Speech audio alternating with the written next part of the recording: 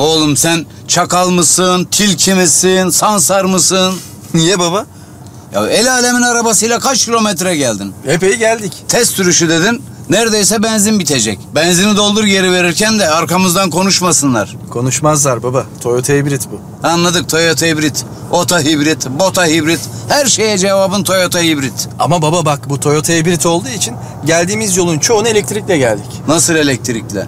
Ya bayağı elektrikli. Bir de bunun en güzel yanı ne biliyor musun baba? Bu böyle giderken kendi kendini şarj ediyor. Oğlum sen beni mi kafalıyorsun bu yaşta? Estağfurullah baba. Yok yok. Baya baya kafalıyorsun. Ben her gün bulmaca çözüyorum. Her sabah da balık yağı içiyorum. Fındık da yiyorsun. Çiğ fındık. Onu bile öğrenemedin. Neyse. Nerede bu priz? Baba o ne ya? Kontrol kalemi. Lazım oluyor. Priz nerede onu söyle. Baba sen hibritte priz mi var zannediyorsun?